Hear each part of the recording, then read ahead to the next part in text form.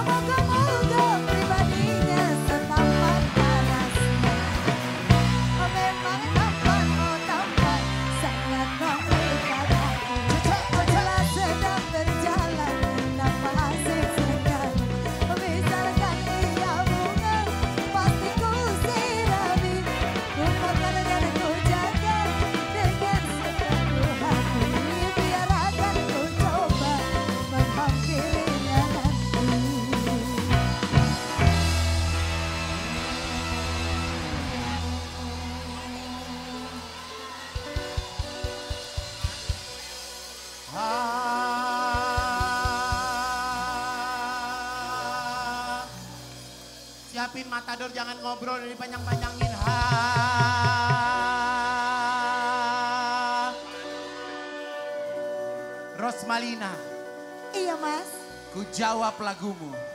Apa jawabannya mas? Aduh Rosma, mengapa lupa padaku ah, selama engkau dirantau.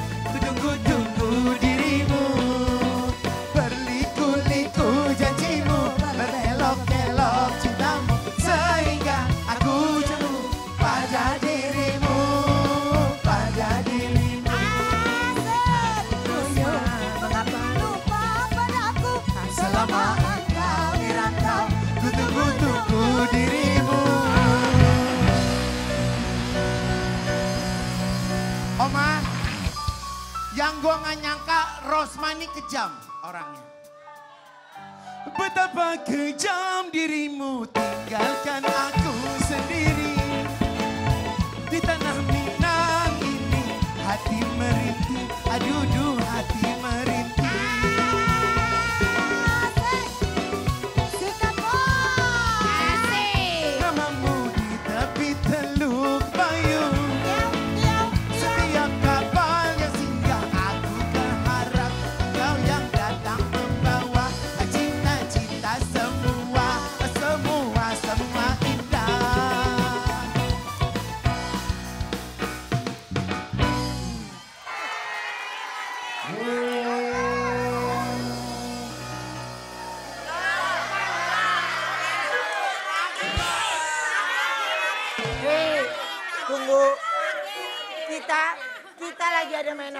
Ada mainan baru, say. Betapa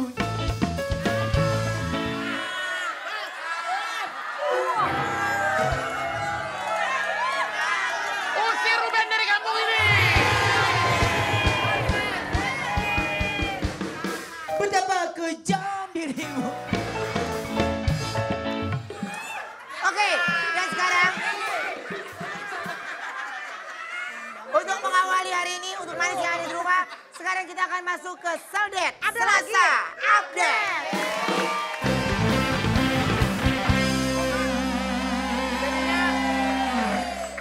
Ndet-ndetan tiap hari. Lihat-lihat tiap hari. Oh, Oh, yang ada. empat apaan lo tiap hari nih? Wah, semakin hati-hati nih kita nih. Iya.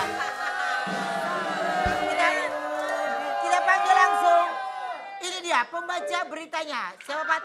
Wendy cita-cita ya. Eh, apaan sih? Wendy, Cita- Wendy Citati. Citati. Wendy Citati.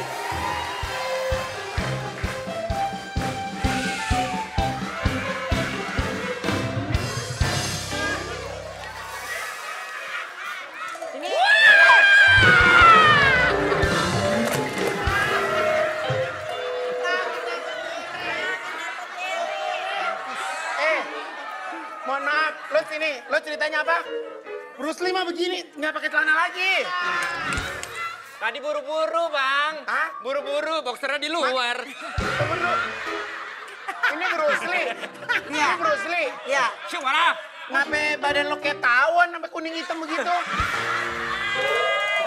Kan emang bajunya begini, Nora lo. Bruce. badannya kecil banget Bruce ya. Lee orang Cina dong. Syukurlah ya. Saya badak. Rambut lu kayak gini kayak temen gue Ernie anak kampung Melayu, sumpah. Sih, nah. Tukang mani pedi. Ernie. Tukang mani Si pedi. Iya. Oke, sekarang ada apa? Eh, eh, eh, siapa? Kok nggak ada Cita- atraksi sih main gini-gini Cita, dong. cita. Oh, syukurlah, ayo. Wah, ada.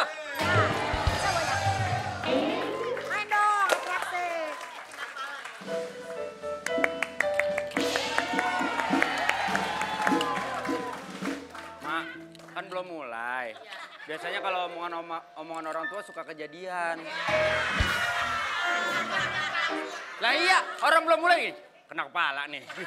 Kan doain. Kan doain yuk kalau kayak gitu. Ya.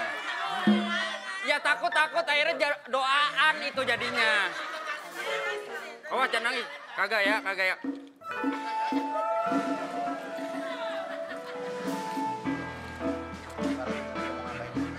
Wen,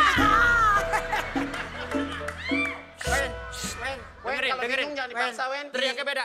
Janda! Enggak. Saran. Kalau saran gue. Saran gue. Ya. Ngecek temperatur otak kita itu penting, ngerti nggak? Apakah kita di kapasitas yang normal atau enggak, Iya, ngerti iya, nggak? Takutnya lu nyaman atau apa gitu. Ya, Iya, ada berita. Eh tapi jangan salah lo ya kan?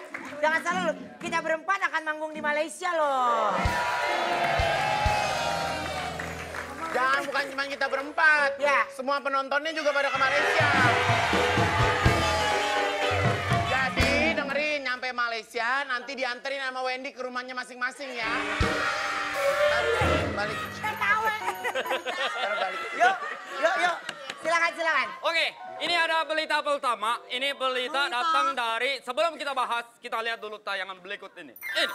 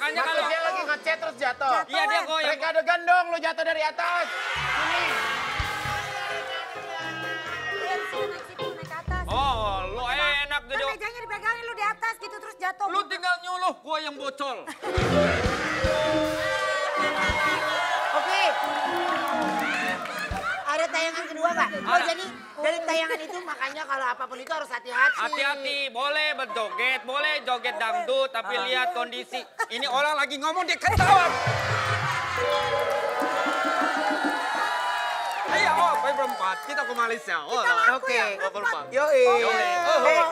Malaysia, tunggu kedatangan kita. Kalau ke Malaysia, lu berangkat sama keluarga. Iya dong. Lu berangkat sama keluarga. Sama keluarga. Kita berdua dong yuk. Lu mana lu berangkat Kalau kalau gue, mumpung kita lagi manggung di Malaysia, Ah. ya kan? Kalau gue bilang lu berdua akad aja hari besoknya, ngerti nggak?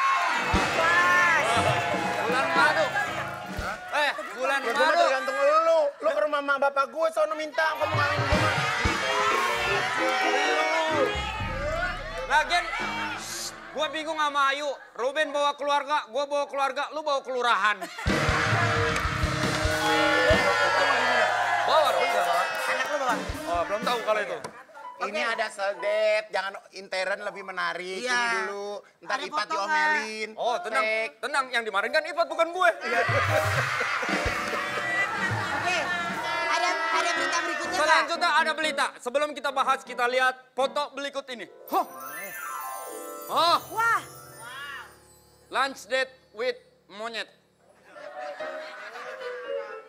Ini ternyata lagi lama diperbincangkan karena kan cita-cita tak manggil cowoknya monyet, ya kan?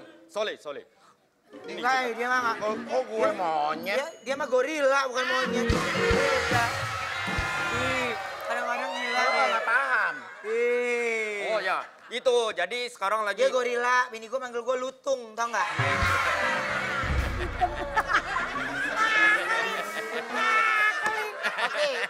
Terus Untung gua dipanggil kerak kalau di rumah.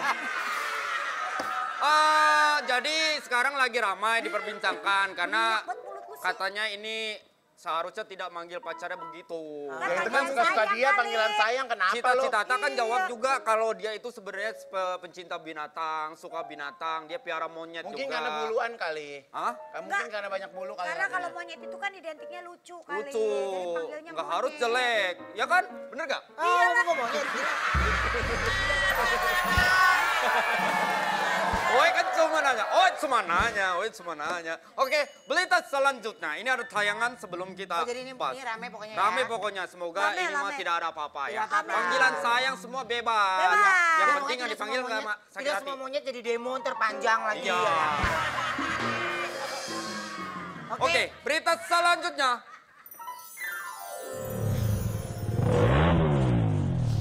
Mau ke mana? Sono, sono. Slow ini, ini atu, kita punya aturan bro. Sono, sono. Lu panjang urusannya. Gue telepon di sini nih ya. Telepon.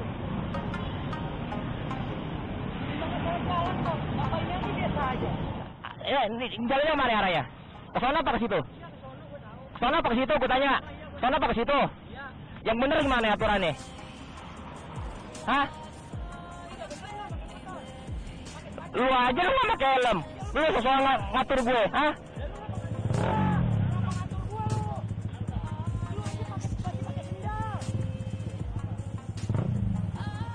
Ngelawan arah. Enggak, aturannya bener nggak ngelawan arah gitu loh?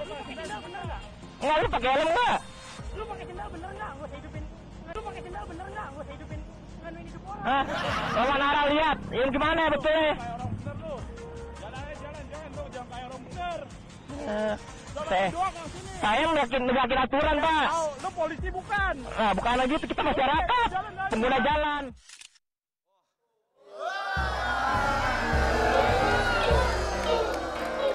Reka adegan kayaknya lucu nih. Apa? Ini Reka adegan yuk. Ini orang-orang berpikir gini, nggak apa-apa Iya. gua salah jalan, yang penting gua nggak ngelawan orang tua iya. gitu kali ya. Iya. Ayo yuk, kita reka adegan. Nah, Kita itu jalan mau ke sana. Orang-orang yang kayak gitu, yang orang-orang yang kayak begitu itu yang bikin negara jadi nggak maju tuh. Ya. Malu. Kalau nggak boleh gitu. Harusnya langsung putar balik udah tahu salah jalan. Eh, eh, tadi adegannya motor, bukan motor. truk. Bukan. Motor. Motor. Ini malu. Malu nggak ada temen. Gue pokoknya sekarang gue di Brownies gue punya karakter ya. Apa? Karakter gue lugu. Kaleng. Iya. gue karakter gue dua lugu malu-malu. Iya.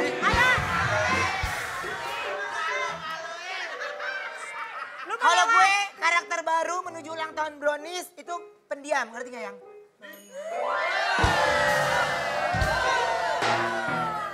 Gitu. Ayo lu kalau berani lewat sini, lewatin kita bertiga. Lu Ayo. salah jalan sendiri, ayo. yang salah Ya, jalan. lu- Lu lu salah sal- jalan. Kita yang salah jalan apa mereka? Iya, Apa dia. Lu lah yang salah jalan Ya gue yang benar.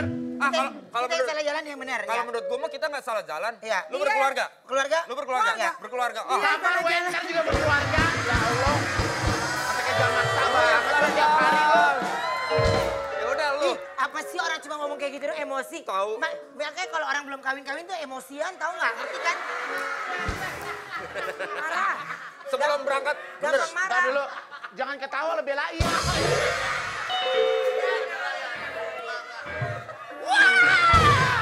Pulang. Lo yang pertama, Oh, iya. gue yang kedua ya. Oke. Salah Oke. jalan ya? Gue yang salah ya jalan. Mohon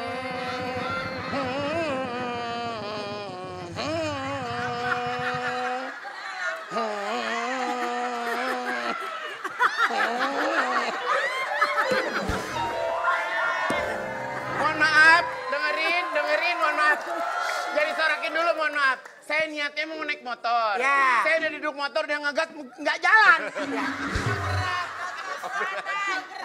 Keberatan. Keberatan. Bukan keberatan. Emang bannya nggak dipasang bapaknya. Ah, pokoknya intinya kalau salah udah salah. Hah? Ngegas. Oke, oke. Oh, keseringan nonton Sabian. Ya, ya, ya. Udah. Oke, pokoknya intinya sebenarnya kalau misalkan memang jarang itu digunakan buat ini ngapain pegang-pegang? Dia penyiarnya.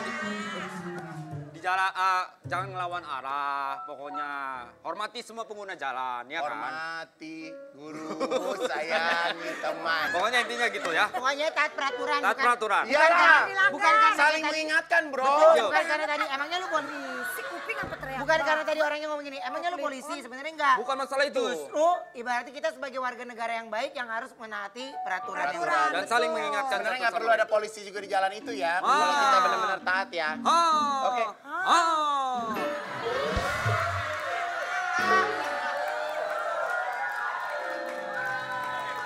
Jadi ke Kial. Berita selanjutnya ada foto. Eh, Wen. Jadi Kial berangkat nih. Berangkat dong. Ya, oke. Mel- melihat kecoa tadi pagi langsung buru-buru ngambil semprotan di atas rak nggak sadar kalau yang aku ambil itu pilok silver. Sekarang aku nggak bisa membunuhnya karena dia malah kelihatan keren. Ah? Oh salah ngambil harusnya buat buat kecoa, buat Ini binatang. sebenarnya lucu tapi bercandanya agak berat ya. Berat. Kalaupun ini mah nggak nggak lucu ya. Lucu aja dia tadi Tawa. ketawa-ketawa aja.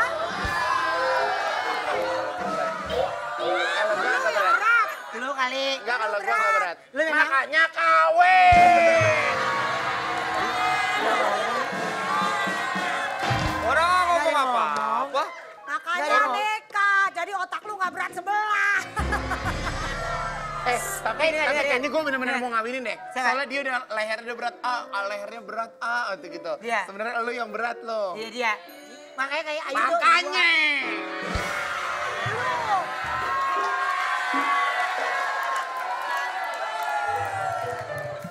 Gue capek berantem sampai Ada udah- netizen sampai- kemarin komentar gini. Apa? Buruan Kaigun, eh, eh, kawinin kayu, ntar kalau kayu eh, nggak dikawin-kawinin, ntar kawin sama orang. Gue bilang nggak apa-apa kalau dia kawin sama orang, ntar gue buatin baju. Oh gitu. Gue langsung, gue langsung, gue langsung malaikat. Ya ampun, Kaigun, best banget, ya Lu ampun. cintanya tulus gitu. banget.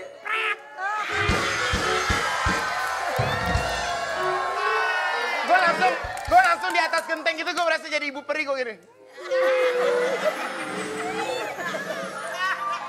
Baik kalau Oke, kayak gitu. kalau gitu. Nah, tadi tadi yang kecewa kuring sih. Iya, iya, ya. Oh, kan cuma bacain. Hei, Jangan salah. Kok ada reka denger, reka denger dong jadi Iya jadi semprot. dong, ntar gue semprot cut gitu. Cut. Oke. Oke. Tuh. Dia ngatain materi itu katanya kurang. Lah dia barusan ngomong juga kurang. Udah. Oke. Kita kalau begitu. Kita harus kompak, kita mau manggung ke KL, Oh iya, iya, iya. Oke, kita harus kompak. Jangan ada ya, Iya, iya. Kalau begitu terima kasih sampai ketemu lagi minggu depan. Besok, besok, besok, ada lagi. Besok ada lagi. Ada lagi, woy. Besok ada lagi. Besok namanya Budet. Rabu update, ya. Ka- Kamis kadet dong berarti. Iya. Assalamualaikum. Waalaikumsalam. Oke, judul hari ini cukup panjang. Judulnya adalah Ada yang nyelesain masalah pakai debat, ada juga yang pakai bunga, ada juga yang pakai cincin. Siapa aja mereka? Hanya di Brownies obrolan manis. Hits. Ini lagi rame pengacara nantang pengacara loh. Wah ini setiap hari di infotainment ini. Iya, uh. Ribut Oh, mulu. Bener-bener gue pengen denger langsung ya. Banget, panggil deh biar seru. Langsung kita panggil ini dia, Mr. Farhad Abbas. Para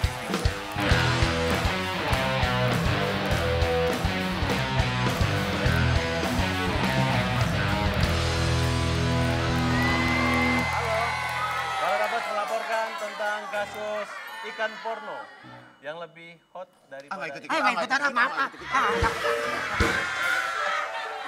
Tepuk tangan dulu untuk Mas Farhad. Mas, Oke, sebelum kita ngobrol, aku ada tayangan dulu. Perhatikan tayangan berikut ini ya. Ini dia.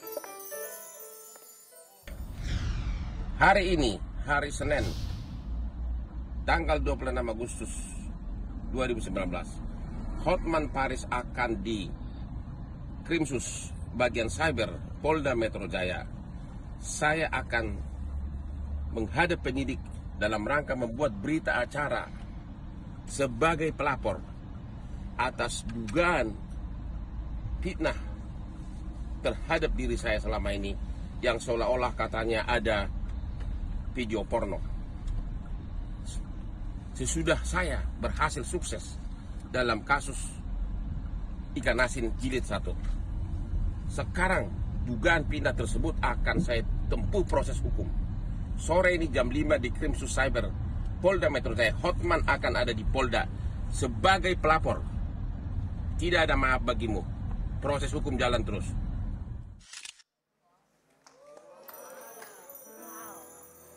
Kalau kita boleh tahu gerangan, ada Gerangan. apakah yang terjadi sebenarnya sih Mas Farhad?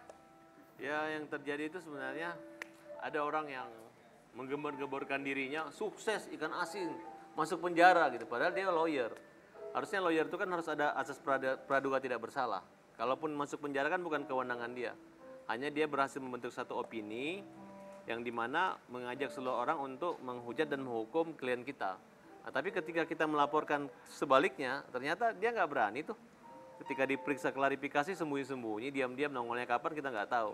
Nah belakangan dia melihat celah, ada orang katanya menuduh dia. Padahal kita itu nggak pernah menuduh bahwa dia adalah pelakunya. Tapi akun HPH eh, official itu adalah orang yang akun yang memposting video porno. Nah jadi ini dalam proses penyidikan. Jadi Ma- Mas Farhad pernah lihat akun tersebut memposting. ya buktinya udah ada. Enggak Mas Farhad berarti follow-followan dong. Oh enggak. Mas Farhad paling boleh pakai akun bodong mungkin. Iya iya iya bisa Oh, jadi bener biar tahu. Aku aja nggak tahu Mas Farhad. Ya kan kita ada beberapa orang saksi, kemudian ada informasi, kemudian rekam jejak digitalnya itu kan tidak bisa. Kan harusnya gini, bukan mengadakan sayembara dapat 10 miliar jika membuktikan itu dia atau tidak. Tapi dia harus membuktikan bahwa, Pak Polisi ini email gue, ini HP gue, ini IG gue, silakan buka. Pernah nggak terjadi ya? Kalau saran saya buat kepolisian, agar datang ke Bali, periksa CCTV di kafe eh, kafe mix sekolah dan di hotel. Apakah kedip handphone dikabari nanti dilihat itu hilang duluan atau dihilang-hilangan. Nah, itu yang menjadi dari. CCTV apa yang kita megang handphone kelihatan? Oh ketahuan. Ada suasana kehilangan tuh ada. Suasana pencurian itu pasti ada. Dan harusnya kalau hilang di situ kan ada laporan kehilangan dari hotel jam berapa sekian itu kan pasti ada. Nah, makanya ini kita melihat ini ada orang kepanikan yang sangat luar biasa sehingga kerjanya hanya memamerkan dia sukses, dia hebat, kekayaan dan lain sebagainya padahal nggak ada nyambung. Ini bukan persoalan antara Farhad Abbas dengan Hotman Paris tapi antara akun itu dengan hukum. Jadi lebih baik orang memamerkan kekayaan tapi tanpa menjelekkan orang lain atau seperti apa ya? Yang terjadi seperti itu gitu. Dia anggap semua karena dia kaya hebat, semua pada iri, nggak ada kaitan itu. Nah, justru kita merasa, loh kok sesama rekan lawyer yang harusnya saling menghormati, saling menghargai, kok tiba-tiba caranya menghina, meng- Tapi awalnya gimana sih Mas? Awalnya tuh sampai Maksudnya cerita terjadi. awalnya Ah, gimana sih, ceritanya Mas? Bisa awalnya gimana sampai- sih? Kepo deh kita. Enggak Awalnya? sampai sampai ke Farhat Abbas, Hotman, Farhat sampai awal tuh Kayaknya gimana sih? sebelum kasus ini juga sebenarnya udah sering ya, Oma, ya? Udah pernah cekcok juga kan? sebenarnya nggak ada masalah ya. Cuman nggak tahu setiap semenjak punya Instagram itu setiap ada ngomongan Instagram itu selalu mereka menghina-hina terus kita. Oh. Misalnya saya itu nggak pernah punya mobil kijang nih, Iya. Nah, dia ngejek cicil kijang. Nah kita nggak pernah nyicil apartemen, nyicil apartemen, selalu Tapi membanding-bandingkan. kalau sana itu kan dia tidak menyebutkan Tidak nama menyebutkan misalnya. nama. Ya tetap aja, semua followernya itu kan tetap mengarahkan ke kita. Tapi kalau misalnya Kemudian masalah ikan asin, ikan asin. Wah pengecaranya diganti, dicopot segala macam. Memang tujuannya kita gitu. Ya bagi saya kan saya tidak melaporkan karena memang dia tidak menyebut Nah, nama. Mas Farhat udah nggak bukan udah udah nggak pegang. Masih, saya masih lawyer. Ini catat ya bagi eh, pengacara yang menurut saya hanya penggembira aja mereka saat itu. Gue nggak dicopot dari kasus Pablo dan eh, Ray. Sampai sekarang saya masih kuasa hukum. Masih jadi pengacara. Iya. Jadi kalau fit, itu fitnah itu, oh dicopot, dicopot, diganti. Menyarankan kalau tidak bisa keluar biasa. Kalau lawyer itu kliennya masuk penjara kita tinggalkan bukan pengacara. Kita membela bukan hanya kesalahan tapi hak asasi dia selama proses hukum. Jadi kalau semua orang yang bersalah nggak ada eh, nggak boleh didampingi pengacara ya siapa? Dan dia banyak juga kasusnya yang ditangkap, yang dihukum itu banyak rekamnya. Tapi tapi aneh, mungkin karena penghasilan dia saat ini bukannya sebagai pengacara, sebagai youtuber gitu. Nah, oleh karena itu apabila kasus ikan asin ini terbukti eh, bahwa memang ada rekam jejak digitalnya diposting dari akun milik HPH tersebut, kita minta dihukum seberat-beratnya karena ini merusak bangsa dan merupakan mata pencarian daripada pelaku. Hmm, Oke. Jadi memang eh, apa berbuntut panjang sebenarnya jadi Panjang. terus gitu ya, kayak benang kusut. Oke, aku ada foto lagi coba. Perhatikan foto berikut ini ya. Oh postingan ya. Pengacara internasional untuk debat dan buka-buka bukti dan saksi live head to head kapan dan di mana. Gua ungkap kebohongan dan amnesia lo. Kalau berani tentukan waktu dan tempatnya. Gue datang. FA. Ya, ini sebenarnya kita lihat ya. Orang yang melaporkan saya itu kan selalu membuat suatu opini yang seolah-olah kita itu fitnah gitu. Makanya Ya. gue tantang, ayo para follower mereka. Lu kan tahu, gue kan pelapor gitu. Saksi-saksi gue ini kebanyakan lawyer semua. Yang tidak mungkin mau berbohong dan mengaku melihat video itu tanpa adanya kesaksian. Baik secara langsung maupun dilihat mata pun didengar langsung oleh para saksi. Nah, daripada lu ngoceh-ngoceh di sana, ngoceh-ngoceh berjuang buat rakyat di kopi dan lain sebagainya, ketemu Farhad Abbas, kita saling menelanjangi bukti gitu. Kita bicara, jangan sudah punya akun tercontreng biru, yang ya, Bang Farhat udah sudah kan dulu Iya, udah ucapin kan? selamat. Iya. Artinya siapa saja yang memiliki contreng biru itu nggak boleh dibilang itu HP anak gue. Itu ada admin eh, nggak boleh, dia harus bertanggung jawab. Masalah yang itu meringankan atau dibuktikan oleh pengadilan nanti di pengadilan. gitu. Tapi Om Farhat itu yang yang Om lihat ada postingan itu terus ke capture, ada sempat ke capture. Oh iya, Itu ada buktinya videonya gitu. lengkap semua udah ada. Tapi berapa lama kira-kira itu terposting? Mungkin kurang lebih ada hampir satu, antara setengah jam sampai satu jam kurang lebih. Kurang lebih ya. Oke. Ini kan mereka menyadari ini alibi kalau menurut saya eh, ketinggalan. Ini bukan satu ilmu. Kalau dulu orang menghilangkan barang bukti, polisi yang susah karena susah membuktikan.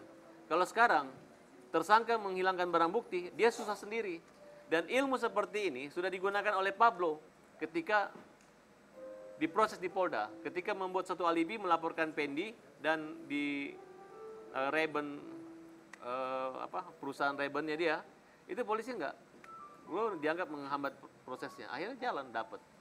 Dan saya yakin proses ini kasus ini bukan hanya kasus langka, tapi merupakan langkah promoter profesional modern dan terpercaya. Kita akan buktikan di sini. Oke. Apakah singa atau pak uang bisa membeli hukum dan segalanya? Saya yakin tidak. Saya percaya pada polisi bahwa dia akan terus mengusut kasus ini sampai adanya tersangka dan dihukum seberat dan semaksimal mungkin.